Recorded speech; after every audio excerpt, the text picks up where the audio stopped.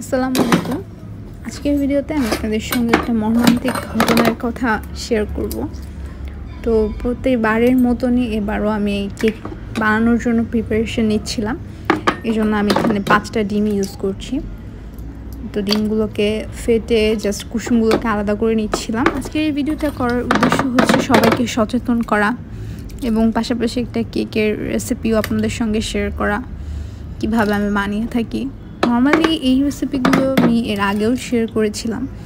তো চিন্তা করলাম যে কেননা পাঁচটা ডিম দিয়ে কেক বানাচ্ছি, কতটুকু কি পরিমাণ ব্যবহার করছি আপনাদের সঙ্গে শেয়ার করি। এটা মূলত অনেক আগের ভিডিও আজ থেকে দুই তিন মাস আগের একটা ভিডিও এটা। তো আমি কুসুমগুলোকে আলাদা করে ডিমটার সাদা অংশটাকে বিট করে নিচ্ছিলাম। আমি যে বিটারটা ইউজ করছিলাম, সেই বিটারটার ছবি আমি পাশ দিয়ে দিয়ে দিচ্ছি। বিটারটা হলো স্কারলেটের সুপার হ্যান্ড মিক্সার। এটার প্রাইস পড়ে পাঁচশো থেকে ছয়শো পঞ্চাশ টাকার মধ্যে। এটা একশো আশি ওয়াটের একটা হ্যান্ড বিটার। আমি এটা দিয়ে আজকে কেকটা মেক করছিলাম। পাঁচটা ডিমের সাদা অংশটাকে একটু ফোম করে বিট করে নিয়েছি। আর দিয়ে দিচ্ছি এক কাপ পরিমাণ চিনি। দিয়ে এখানে আর এক কাপ চিনি আমি পরে অ্যাড করব। একটু বিট করে নিচ্ছিলাম। তারপরে আমি আরও এক কাপ চিনি অ্যাড করলাম। তো এই বিটারটা ইউজ করতে গিয়ে আমার সব থেকে বড় প্রবলেম যেটা হয়েছিল, এই বিটারটা গরম হয়ে যাচ্ছিল প্লাস এই বিটারটা আমার ইউজ করতে হচ্ছিল অনেকক্ষণ ব্রেক দিয়ে দিয়ে থেমে থেমে, না হলে দেখা গিয়েছে যে বিটারটা প্রচণ্ড পরিমাণে গরম হয়ে যাচ্ছে। এভাবেই থেমে থেমে বিট করলাম চিনি এবং ডিমের যে সাদা অংশটা ছিল সেটাকে। একেবারে ক্রিমি টেক্সচার এসে যাওয়ার পর আমি ডিমের কুসুমগুলোকে একটু ফেটে নিচ্ছি। এবার ডিমের কুসুমের অংশগুলোকে দিয়ে দিচ্ছি আর সাথে সাথে বিট করে নিচ্ছি। সম্পূর্ণ ডিমের অংশগুলো দেওয়া হয়ে গেলে এটাকে সামান্য একটু বিট করে নিচ্ছিলাম। আর এবারে শুকনো উপকরণগুলো আমি অ্যাড করে দিব। ফার্স্টে আমি ফোস্টার ক্লার্কসের সোডা নিচ্ছি বেকিং সোডা আর এখানে রয়েছে বেকিং পাউডার তো ফোস্টার ক্লাসের আসলে বেকিং সোডা এবং বেকিং পাউডারটা সব থেকে বেশি ভালো হয় কেক বানানোর ক্ষেত্রে, একেবারে পারফেক্ট তো আমি হাফ টেবিল স্পুনের মতন বেকিং সোডা দিয়ে নিয়েছি।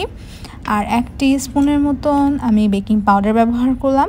সাথে অ্যাড করে দিব দুই টেবিল স্পুনের মতন গুঁড়া দুধ।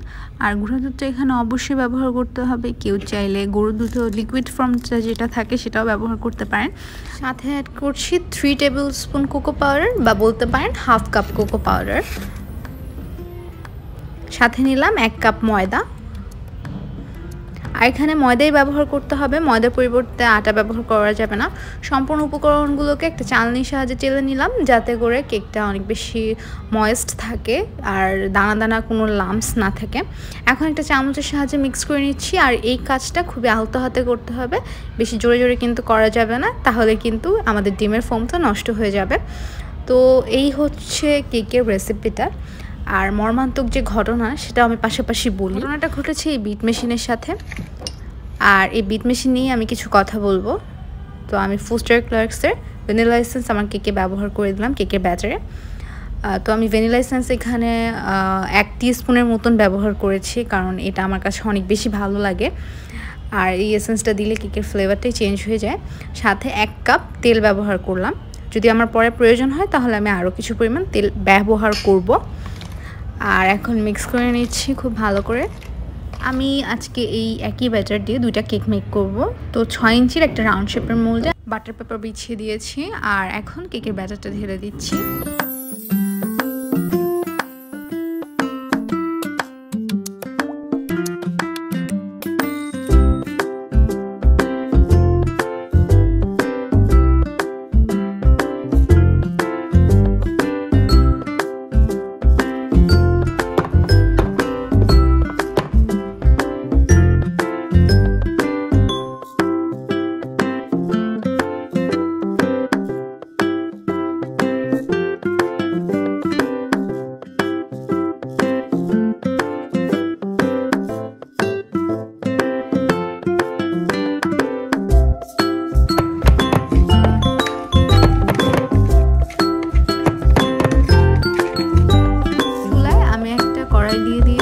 আর তাতে আমি একটা স্ট্যান্ড বসিয়ে দিয়েছিলাম।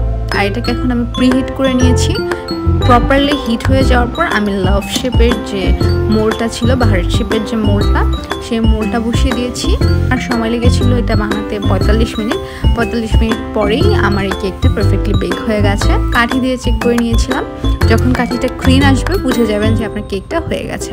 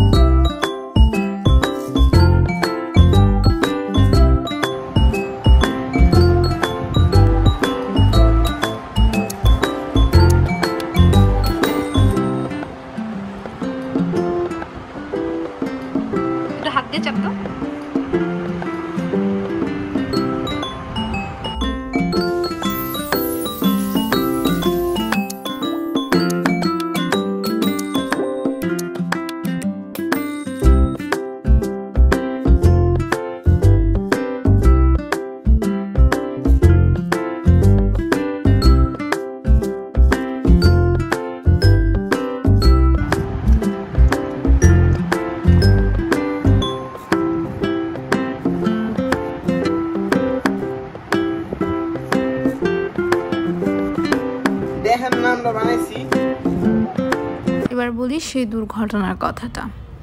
ভিভো ক্রিম নিয়ে এসেছিলাম, আর এটা দিয়ে চিন্তা করেছিলাম যে আমি ক্রিম মেক করব। এই জন্য ভিভোর ক্রিমটা খুলে নিচ্ছিলাম দেন বলে আমি দুই কাপের মতন ক্রিম ব্যবহার করছিলাম। তো আমার অনেক ভালো লাগছিল যে কেকটা বানিয়ে ফেলেছি, এবার ক্রিমটাও রেডি করব। আর এই ক্রিমটা আমি ফ্রিজে রেখে দিয়েছিলাম, বানানোর আগে। দেখতেই পাচ্ছেন ক্রিমটা কতটা থিক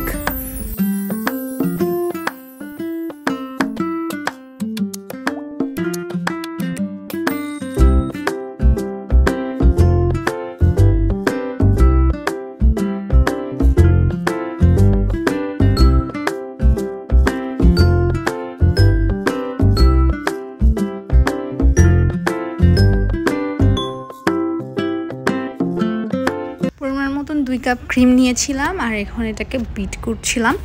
আর বিট করতে করতে হঠাৎ করে এই বিট মেশিনটার কয়েলটা জ্বলে যায়। আমি অনেক আশা নিয়েই কেকটা বানাচ্ছিলাম যে কেকটাকে ডেকোরেশন করব, খুব সুন্দর করে। কিন্তু বিট মেশিনটা নষ্ট হয়ে যাওয়ার ফলে আর সেটা করতে পারিনি। আমি সবাইকে সাজেস্ট করব, এ ধরনের ফালতু বিট মেশিনগুলো আপনারা কিনবেন না।